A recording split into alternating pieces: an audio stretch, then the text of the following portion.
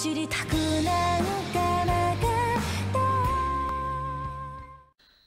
YouTube, this is the Creative Duelist here, and I've been making decks creative since 2016. Welcome! Today I have a YGO Pro deck profile to showcase to you today. Unfortunately, I was unable to do this deck profile in real life. Uh, it's Magic Bullets. Um, the Caspars are just too expensive. It's not cost effective for me. Um, Caspar is a short print, I believe. Um, I think next to, I think it's the Kid. I, no, no, no, it's Sh Shooter Star. These are the expensive ones. Um, I apologise if it's not in uh, IRL. I usually prefer to do um, real life deck profiles, but on this occasion, uh, it has to be through YGO Pro. But anyway, um, I'm going to I'm going to showcase the step profile to you, explain it to you very briefly because I've got a couple of uh, replays just to go over, and this is just my personal build and my personal take on things. So of course we've got the triple Caspar, the triple Shooter Star, uh, the tr the triple Kid, uh, double Doctor, and of course uh, the double Calamity. Um, for the spells, uh, triple um, has a weird name. Endorphine, I think it is. A triple endorphine, uh, triple cross domination, um, triple uh, tomb table of contents, one tomb world to accompany it, uh, triple ties, double double summon, one Raigeki, one upstart, and that's going to be it for the spells. For the traps, triple um, Desperado, triple Dead Man's Burst, one Devil's Deal, two Solemn Strike, and one Warning. Extra decks, fairly self-explanatory. Um, just going to quickly go over it for you.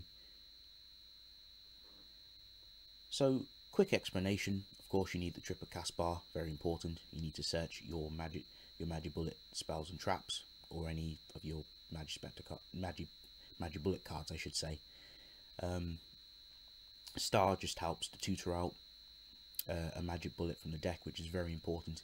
Also, they all have the effect where if you activate a magic bullet spell trap, um, or if you activate a spell trap in general in that in this in their column, you get to they get their effects depending on which one uh, you activate it in. So in this case with Shooter Star, if you activate a spell or trap, or if your opponent does it in the same column as it is, as it is as it is in, you get to bring out a magic magic bullet monster from the deck.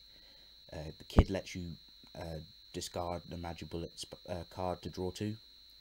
Doc searches from grave. This searches from deck, and Calamity brings uh, tutors out a monster from the grave, which is very important. So that's pretty much it for my lineup. Um, I didn't really feel like I needed to play anything else. The other magic bullet monsters, I just felt were were inferior to these. Um, of course, the spells self-explanatory, and the ties to uh, help you pump out the magic magic bullets from the from the deck, and give yourself some field presence. Double summon, and of course the traps are very self-explanatory. Disrupt your opponent, so it's literally Drident. This is a solemn uh, judgment for the, the spells and traps and of course this protects your magic bullets from card effects. So that's pretty much it for the magic bullet deck profile. I'm going to go ahead and stop talking now and I shall leave it to the replays. So I hope you folks enjoyed the replays. I did play this deck uh, a lot on YGO Pro.